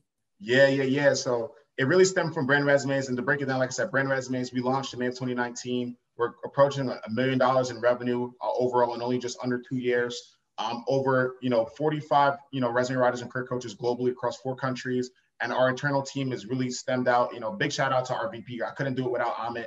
Uh, this guy's an animal. Amit Nath, follow him. Um, he's killing it in the stock game and is also big on the resumes and stuff. And so when we where we're at right now is, uh, you know, we realized very early on as we were building it and had that hockey stick growth, we're getting 50, 60, 70 clients a month coming in the door. There were just some inherent challenges in managing resume writing orders, just managing a writing order. And so when, if you're smart enough, right, if you have a challenge, you're going to go to Google, like, how do I fix this? Or what type of solution? So we were Googling solutions in terms of like, how can we better manage and uh, and and uh, and uh, streamline the client communication. Let's say from the time that somebody purchases an order, right? How do I get them my questionnaire? How do I get them a contract? How do I get them uh, follow-up questions? How do I then deliver the draft so it's not an email? People lose emails. Emails don't, hit the, the, inbox. And so there was all these issues in the business that were just like, okay, how do we solve this stuff? And what happened is I tapped my uh, our guy who was you know doing all the technology. Yo, could we build a platform to kind of help out with this internally? And so what happened is um, we rolled out a platform towards like November 2019. It was an MVP just for BrandResumes. And it was a tool where there was like an admin portal, a writer portal, and then a customer portal. So now customers could like create their account and then they can um, go through a whole flow that we built out, a whole workflow, automated email touch points and everything that was going on. So they were connected. There was chat feature built in. So super dope. So we created it back in May of 2019 to solve our own issue because it was just too crazy. Talking about 80 orders a month, doing all email. Oh my God. It was oh, just I know that's bullshit insanity. I mean, talking about on average 14 to 20 emails per customer and then just losing them and keeping track. And then you got your Google spreadsheets over here. And it was just so crazy to manage. Virtual assistants out the wahoo trying to keep it all together. And so we built this technology for us internally, and it was like night and day. I mean, it's just like client comes in, click assign a writer, and the whole process flow is streamlined. You don't, you don't worry about nothing. And so what happened is we figured that all out and cracked the code because we already was cracking the code with our business model where people were paying us for resume packages and they got to pay over time um, through Klarna. So that's how people was even jumping into the business and the, the packages was going crazy. So as we are getting all these orders, they were going through this system that we created for ourselves. And it was just like all automated, all streamlined. Customers was loving it. It was very easy to manage. And so I was like, man, how many other people in the world who run resume companies or career coaching companies or touch resumes and get paid for it resume reviews, all that, critiques, could use a system to better manage their business. And that's where WriteSea came to be. So WriteSea is a first of its kind um, order management slash writing operations platform for digital writers to better manage their business. And so we took the MVP, we upgraded it, built it on all the latest and greatest stuff that like the Facebooks and the Netflix are built on from a technology perspective so that it gets that scale. And what happened is I used to manage technology teams when I was at PwC. So I took my own knowledge again and um, we invested thirty, forty thousand dollars into building this software. Whereas it might have cost about hundred, uh, would have cost about a million dollars if we would have built this, you know, like corporate and paid somebody to do it. Um, we, we built it in five and a half months, which is record speed. Most software products take like a year to, to just be, be built. And um, we launched it with the goal of being able to help now our entire industry better automate, better manage their business with a, a more sophisticated portal for them as a company, uh, a writer portal, so your contract writers or just you as a, you're a single writer can then better manage your orders, and then a customer portal.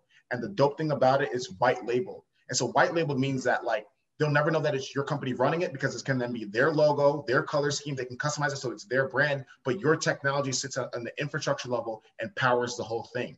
And so um, it's almost like how Amazon has all these like little sprinter trucks delivering packages. Those aren't Amazon trucks. Those are small fleets that they then wrap it in Amazon branding, mm-hmm. white label concept. And so we white labeled our software. So now anybody can use it who, you know, manages uh, resumes or wants to start their own resume writing business. They don't have to have like the old years long headaches of doing this all through email. It's a technology system where they can just easily get in, set it all up in about a day or two, and then just get running and have this amazing technology suite to better manage their business. And the idea behind it is that sooner than later, not only will we'll be able to just help, you know, uh, resume-based writers, but then grant writers, script writers, copywriters, ghostwriters, content writers, blog writers, um, anybody who's doing writing-based projects. There's nothing out there in the world that helps them better manage their business.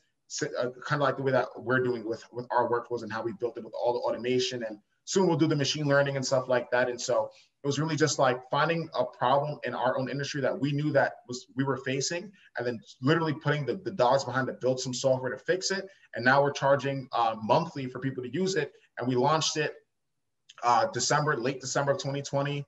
Um, we've literally got about seven, eight customers already. We're doing demos. I got a whole team fully focused on selling the WriteSea software. And people are signing on annual contracts, quarterly contracts. They're loving it already And so the idea is that we're going to raise up, maybe raise some uh, some some private investment to build the software and take it to the next level, which we want to do. Um, preferably, you know, um, VC or something else, and then uh, just kind of t- uh, take it to the moon, right? Um, I think we got the early traction, so we know people like it. The, the demos, people love it, and so it's just crazy. Like now we're serving the masses from a technology perspective because we were already serving the masses, just doing the resumes and doing the orders, but now we're like, how can we help everybody. So we're democratizing the access to high quality technology. So where if you just got started or you're already sophisticated, you can use it. Mm, that's powerful, my brother. I got to connect it with my boy Pedro up there in Delaware too. Oh, he's, yeah, in VC, VC, He's uh, in VC and he's getting into uh private equity too. He I was actually just talking to him yesterday. So I got to connect y'all, my brother. For sure, for sure. I definitely appreciate it. Software goes crazy. And if you look at like software multiples in terms of uh, uh, what software companies sell for, um, it's pretty high. And software is like, it's, it's an amazing business because it's like the cost to running a software company are so low. And that's why software is really what kind of kept the stock market afloat. We talk about stocks and stuff like that. Like the tech sector is booming. It's going to keep booming, you know, for the next infinity and beyond. And so it doesn't industry you're in, whether you you know sell like you like a nail tech or you, do a barber or you you know do home cleaning. If you find a, a, a need for some type of solution to better manage or better solve any problem, you know, think about building some technology because technology is the future. I'm bullish on it. Um, I was a technology consulting associate, so I got to see high level tech projects at both billion dollar companies. It's definitely where you want to be.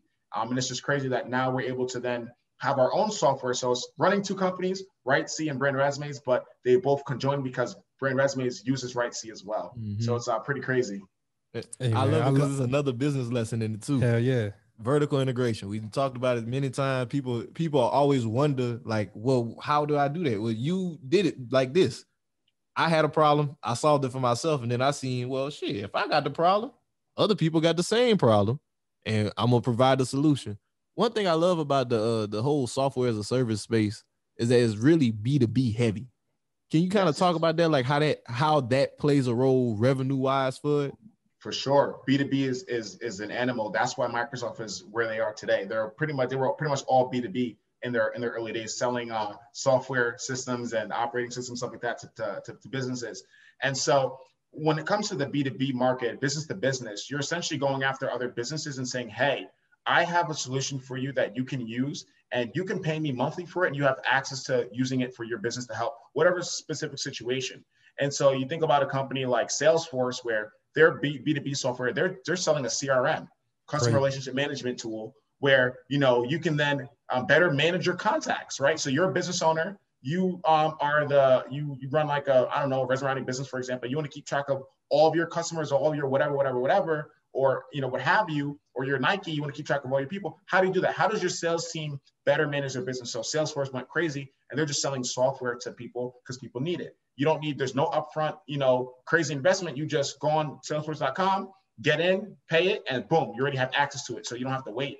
And so from a B2B perspective, selling to companies is a different ball game. And it was a pretty interesting business lesson for us and for me in general, because being on the B2C side, selling resume services and career coaching packages to individuals who really need to get make more money, um, essentially, you know, just improve their financial situation. That's like I just get on a consultation with, you know, uh, with Joe, and Joe here likes what I got to say. He's buying a package. We're gonna help him. But a business, the business is like, okay, I might have to find a decision maker or key stakeholders. Like, okay, well, you know, yeah, this might I might want to talk to the CEO, but might also need to talk to the COO or the operations manager. And so it's a different level and a different game because you, you need to get more people involved in the conversation to make a deal close. Mm-hmm. And most times you have like yearly contracts and stuff like that. But the thing about software and B2B selling is that it's a concept called stickiness. And you want to have sticky technology. Sticky means that like if someone uses our system and our platform, it's freaking phenomenal, right? But it's like it's almost really hard to stop using it because it's like all your customers are going to be there, all your orders, all your data. So then moving to another system is like, that's like, man, I don't want to do all that. And so that's how you're going to get, get people on the recurring billing and they don't never stop using your software. But then also you need amazing customer service. You need, you know, amazing whatever. So you lower your churn rate. Churn rate is like the turnover in your customers. It's like a VC concept. So it's like you want to make sure that people are continuously using your, your software. You're providing excellent service. And then you just scale into infinity and beyond. And so that's why software companies like the Airbnbs and the whatever, like that's why they're, they're going crazy because it's like it's low cost to run them from a data storage perspective. And it's really just like payroll and personnel. And if your customer service is great and your product is great, people are going to love it. They're going to tell somebody else and it's going to keep growing organically. And all you got to do is just market and get it out there, right? Put on, put, get some Facebook ads going, um, you know, or go directly to the people. Go on LinkedIn, find out. That's what we do. We go on LinkedIn, we do a search, resume writer. We find all the resume writers. We hit them all up. Yup, we got we got a software for you. Come check this out. Hop on the demo, and you do the demo hour. You impress them. You tell them what's up. You spit your game, and look, you gonna make the decision or not. And so, if you really got good stuff, people are gonna really resonate with it. And the sexy part about it is that we built a software for our industry when we was already you know, killing the industry. So we knew we knew all the inherent challenges. What you don't want to do, you don't want to build something that you don't know people really going to buy it or, or want it. And so back to even when I was doing that market research for the for resumes.co, right? You need to do your research because you need to understand if there's really a market.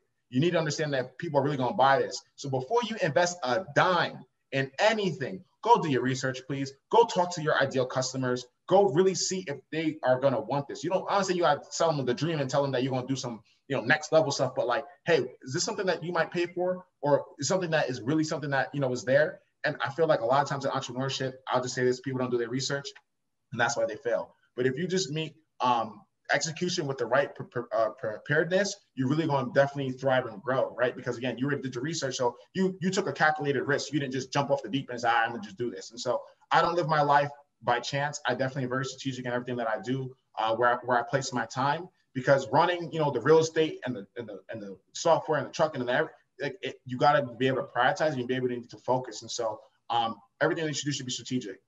All mm. 2021. That's it.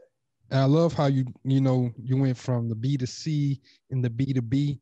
And I know you also recently released a new another product where you're actually teaching people how to start writing resume, resumes. So can we kind of start? Can we kind of get into that and explain explain about that so our people can know what's going on? Yeah, for sure. And so, you know, because I really, you know, man, I've been through it in this industry, you know, five, six years, been in being in this business, I've already mastered the game in a sense where I understand what it takes to start off or come in um, with a little experience already and be able to thrive. And so a lot of times when it comes to the writing business, people realize that this is such a big industry, such a big market. It's over $50 billion in this career advancement resume writing space. So it's a lot of more, you know, top resumes and all that to be to be out here and doing the thing. And so what I decided to do is put all my information, my guidance, my expertise, the failures that I had, the oh man, this ain't gonna work, and put it into a, essentially a course where now I'm able to teach. Look, you got an interest in entrepreneurship. You might be good at writing. You might be in the HR field, or you might just think that this is a great business to jump into from a profit margin perspective. It's crazy because there's no upfront investment rather than what Wi-Fi, computer, and um, some hustle. and you can jump in because again, there's no barriers of entry or big barriers to jump in and create your own resume company. You create your own career coaching company, right?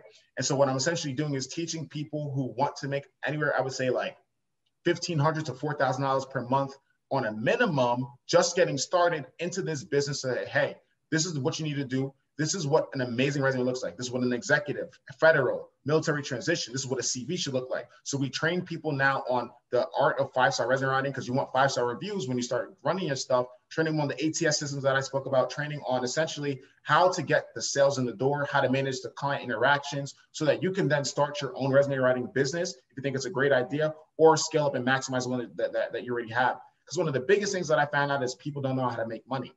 And um, that's not just resume writing. That's a lot of different businesses. You might know how to do the thing, but if you don't know how to get leads in, mm-hmm. right, lead generation, you don't know how to do the sales piece of it or get in a call and do a, and execute a, a successful 10, 15 minute consultation, you won't make the money. And so I figured it all out. I understand all the different lead angles. There's marketplace platforms you can subcontract. There's career fairs all the time. So I'm essentially teaching people how to jump in this space and make money as a resume writer. And to be honest, because of the software and the technology, it's so simple where you don't even need to be the one writing the resume. You just mm-hmm. need to find find a contract writer, which I teach on how to do. You need to just might if you could do sales, you could do sales or put a, a short sales up in that place, and then you can literally automate the whole thing, run, run it on WriteSea, and make your money and not have to worry about anything. And mm-hmm. so that's essentially what I'm doing now. It's called the Art of Five Star Resume Writing. Um, it's available. It took about nine months to put together because I wanted to make sure that it was going to be like you know amazing for people to be able to jump in and I'll and I learned this trade because it's a recession-proof business, right? Um, people always need a job. Thanks. And people always want to get a new job. They want to make more money, and the only way that they're going to break in and get that interview is having a, a quality resume. And so it's been around forever. It's the cornerstone of the recruitment market, and staffing recruitment is in like the 300 billions. And so if you just think about that, it's like, all right, well, shoot, I don't gotta, you know, take out a loan to do this. You know, uh, it's, it's really something where it's like, man, um, if there's a if there's a potential, you got the hustle. I highly recommend just uh, checking it out. Mm, I love it. I love it. Um, so can we, we're gonna pivot to the last section of the podcast, my brother. We'll pivot to what's on your timeline. So this is just a section we speak about like anything that you saw that was funny, serious, Anything. uh anything that you saw on your TL. You could have you could have read it. It doesn't just have to be from social media, but uh anything that you would like to elaborate on. Uh man, I got so much funny things to say, but let me still try to keep a little serious. Uh, you know, one of the key things that I, I think is crazy in the topic to talk about, and uh, and I don't, I don't know if it's primarily race, but just like I think when the whole George Floyd thing happened, um, and uh, and rest in peace, and um, and you know, uh, big ups to his whole family. Hope they're still recovering. I just felt like the Black Lives Matter movement and just the push was great, but I feel like so many companies jumped on that bandwagon Mhm. to push like I'm pro black, I'm whatever. It was just smoke screens. And I feel like now we're starting to see like nothing really changed. It was just like a marketing tactic. And I just want to talk about like it's just crazy how like a lot of things can happen in the world and it, will it'll like start a movement and people just get behind it, but they're not really behind it. And I Mhm. think it was um it was uh one of these things that I saw. I know like one of the job boards they had like changed like their front to like say like as soon as you hit the front page it was like we support Black Lives Matter, but where is it at now? You know, and it's like some of these some of these other companies like oh we're pro this pro that and it's like where's it at now? So it's just crazy. To, for me, it's just like I think that on that topic, like we need to get smarter as like employees and just more cognizant as people. Like who's really supporting certain movements, and it's not just here to just show up and just to like protect their brand image and protect like their stuff. And, and I feel like that's something that's been on my mind. Like how could we, you know, hold people and companies accountable for actually promoting and um, supporting what they where they say that they're going to support. I don't know how we do it, but it's something that's been on my mind. Like, yo, how could we, you know, I don't know whether it's like a forum or it's like a something or initiative that, that people could do to just essentially hold people accountable. Like if they mm-hmm. say that they're behind something, I feel like a lot of times it's just like they just like fly by night, you know. Mm-hmm. And it was crazy too. Like during that whole time, like I know like the Wells Fargo CEO came out and was like, um, we don't promote black professionals because there's a lack of talent. Man, they came for that man's ass, boy. Mm-hmm. it was just crazy because it's like there's not a lack of black talent. Y'all just not really promoting from within. You know what I'm saying? And so I just find it, I just find it absolutely crazy. And I hope that's something that in 2021, if there's any other big headlines, God forbid, and I hope there's not, and it starts and pushes our, our, our movement again, like that we can really, you know, have some like Snapple facts and be like, nah, these people were really rocking with it, and like to really hold people accountable for people who, who's actually not. Because I feel that's crazy. And a lot of times, like, and I and I just say to say like, because if I was still working at, you know, corporate world, and like my company came out and said some nonsense or didn't say nothing at all, I would feel some type of way. Mm, And I, I definitely agree with you. Uh, even just like with the black hit, well, like even with Black History Month, just like seeing the way some companies like uh reacting. I think there was like KFC. They put up a fucking chicken wing, and then the the silhouette of it was like the Black Power fist talking about "We're here with you." I was just like, It's all market. It's all performative shit. Like, Yeah. there- it's like you were saying, Brandon. It's like everybody they they hopping on the wave. but they're not really truly. They're not really support of it. supporting. They just they're bandwagon fans. They're not here for the long haul. If that's a good question to ask though. How can we hold them more accountable? I feel like the only honest answer is, Hurt them pockets. but it, there's certain companies. Are you really gonna hurt them pockets? like you gonna you gonna stop shopping at Amazon if they don't stop? They don't say nothing about Black Lives Matter. Like, Hey man. hey, it's it's definitely a question though. Hey yeah, man. it's not something thing. Like it's just so crazy to me, and I hope that like stuff like that gets better as we kind of push our, our, our people, you know, forward. Because I feel like, and it's crazy because I'm just in that whole space, like careers and companies and employees to say, yo, we gotta really keep it going. I think that it's it's about like the unity. But yeah, man, that's that's what's been on my mind, like stuff like that. Like, how can we do that? And um, also, you know, there's this there's a whole other thing too. Like a lot of times when companies lay off people too, like most nine times out of ten, you know, it's really like the low the low class African American or Latinos who get laid off first. So it's like I just feel like we got to really be more cognizant on like what's really going on in the background. You know what I'm saying? And not just like taking place about because there's there's it's it's dope to be a boss, but there's always gonna be a lot more employees than there are bosses. You know what I'm saying? And so we just got to really realize. And I think that for me, it's like we need to be, we need, we, we do need more CEOs like us to be able to um, put people in, in, position and power. And I think that like that's one of the craziest things. Is like I think they did a study like looking at the Fortune 500, and that's like top tier. But like, how many of those people is actually black running the company? I and I'm saying you got to be founder, like but it's like one percent or like one out of all mm, those. Yeah, like I think it's like one. It's crazy, nuts, but yeah, yeah, crazy. Looking to looking to make these changes definitely. The service you doing is helping yeah. people level up within the career field. So you provide solutions. You're not just also thinking about it. you're helping it. So I can say I appreciate you in that regard, my brother. I try yeah, my, my best, brother. and even even the podcast, man, just coming on here and Black Wealth Renaissance, be able to just provide this value to the people. I think is just critical, critical, man. Nobody who's listening to this better take this, you know, with, with a grain of salt. You better really deep dive, bring out your notebooks, and really like soak up this information because that's how we move the culture together. You know what I'm saying? And I think it's just a shift. We should everybody should be wealthy in their own right, and that doesn't even need to be monetarily. It could be spiritually, it could be emotionally, it could be mentally. But you should be chasing a, a wealthy, you know, habit and just um, uh, lifestyle. To be honest.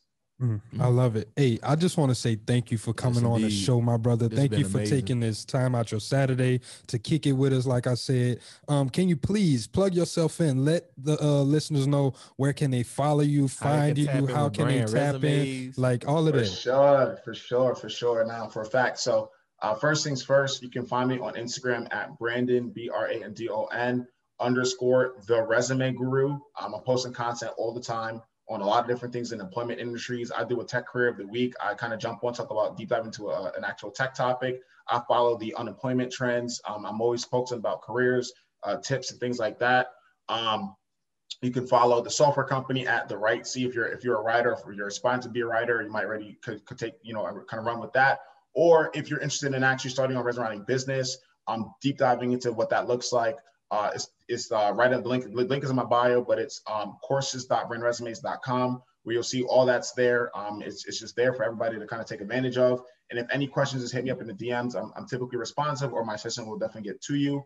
Um, but yeah, man, I'm just trying to, you know, just keep pushing the culture forward on LinkedIn. Brandon Mitchell, PMP CSM, because you put the certifications in there to, to find me. Um, but yeah, just that's where you can find me. Um, always available, always ready to help. And we're also doing a lot of workshops. So if you're listening to this and you work at a company that would like me to come in, do a workshop or do a seminar, we're doing that all throughout this this month into into all next months, things like that. Um, and if you are in a position of power, there's something called outplacement, which is if you if your organization ever has to lay off a massive amount of people, um, you can kind of hire a resume company or a career coaching company to come in and help them transition into uh, new work. So definitely hit me up if that if that interests you. And uh, that's about it. Y'all get at my brother. Tap in, and we'll also have the link for that course if y'all want to learn. We have it in the show notes. Yeah. Y'all can tap in with that too. Most definitely. Well, once again, Brandon, bro, I gotta say thank you for coming on here and dropping these gems, my yeah. dog. Uh, before we wrap this thing up, we're gonna hop into a couple house cleaning items. As always, everybody, thank y'all for tuning into the Black Wealth Renaissance podcast. Please leave a rating and review if you enjoyed this episode. Um, yeah, man, this is man. Yeah, I, I ain't gonna lie. My brother just yeah, yeah. Rating and review. Once again, like I said earlier, if you're new here, hopefully you enjoyed this episode. Um, and if you've been with us, thank you for rocking with us. Like I've been saying, man, we got a goal this year. We're trying to push past 20,000 listeners per episode in the first night in the first 30 days. Um, right now we were right about 12, 12,000. Yeah. So we need y'all help. Please share, with all of your family and your friends. We got great content. And also, we're about to start releasing premium content so y'all can tap into the Patreon and y'all can hear all of the episodes. We got about 12 episodes in the vault. Um, so if you like, if you're loving what you hear, you'll be able to access some of these uh, episodes before exclusive. they even drop. Um, we'll have some exclusive episodes that will not be releasing on all platforms. It will only be on Patreon. So y'all definitely, definitely tap into that. Um, and with that being said, this is Black Wealth Renaissance signing out. Peace. I got money on my mind. I'm just trying to get some dough. I ain't picking up my line unless it's money on the phone.